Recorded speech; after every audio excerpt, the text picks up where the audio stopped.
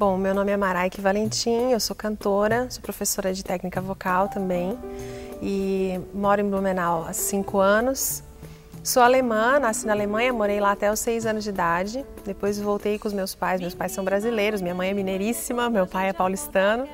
E voltamos para o Brasil e morei em Pomerode até os 20 e pouquinhos anos, depois vim para cá. Então eu tenho assim uma influência muito grande de, de música brasileira, principalmente referências mineiras, porque a minha mãe sempre foi muito musical e eu me lembro de pequena, assim, a gente morando lá, minha mãe sempre teve muita saudade do Brasil, então ouvia muita música brasileira. Parece que era o, o vínculo que, que mantinha essa ligação dela com o Brasil.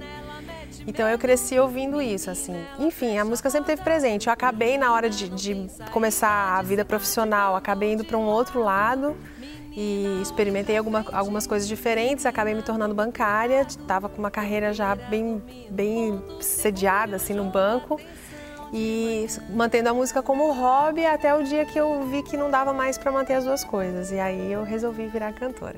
Na verdade eu já estava meio que me preparando para fazer uma opção definitiva pela música.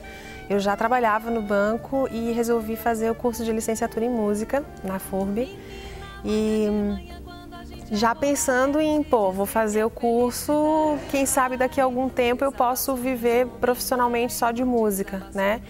E nesse meio tempo, eu tinha recém, fazia um ano que eu estava fazendo o curso de licenciatura, começaram a surgir oportunidades de eu começar a dar aula aqui no, no Carlos Gomes, que é onde eu trabalho até hoje. E aí eu vi que, que havia um espaço para isso, e aí eu resolvi parar de ser, de, de tentar uma coisa que não estava me levando aonde eu queria chegar, né? E aí deixei o banco e fiquei só com a música mesmo. Eu acredito muito assim na região aqui, me sinto assim bem recebida e, e, reconhecida pelo trabalho que eu faço. Eu acho que na verdade em qualquer área, por mais concorrida que seja ou por mais difícil que seja o mercado, se você faz um trabalho em que você acredita, você corre atrás, eu acho que você acaba conseguindo de alguma maneira ou outra conquistar um certo espaço, sabe? Eu tenho principalmente influências de música mineira, né? Então, pelo fato da minha mãe ser de Minas, então eu cresci ouvindo Milton Nascimento, o Clube da Esquina.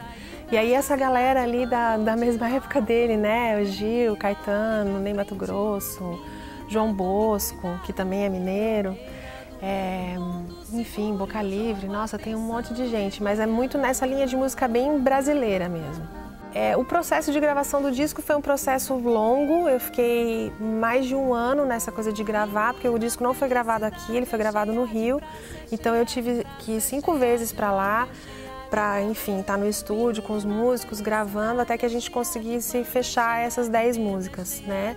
Ele já foi finalizado, a gravação foi finalizada no começo do ano passado, começo de 2011, e aí, desde então, a gente começou a trabalhar na parte de finalização, né? No encarte, a arte gráfica, enfim. E o disco está chegando da fábrica agora, amanhã ou depois. Estou super ansiosa para ver como ficou. O show vai ser às oito e meia da noite aqui no Teatro Carlos Gomes. Os ingressos já estão à venda na bilheteria, custam 20 reais inteira, 10 reais meia entrada, né? E ah, eu espero que tenha casa cheia e estou bem ansiosa para quem quiser ouvir, para que venha mesmo para poder mostrar o trabalho. Menina, amanhã de manhã, quando a gente acordar, quero te dizer que a felicidade vai desabar sobre os homens, vai desabar sobre os homens, vai desabar sobre os homens. É isso aí.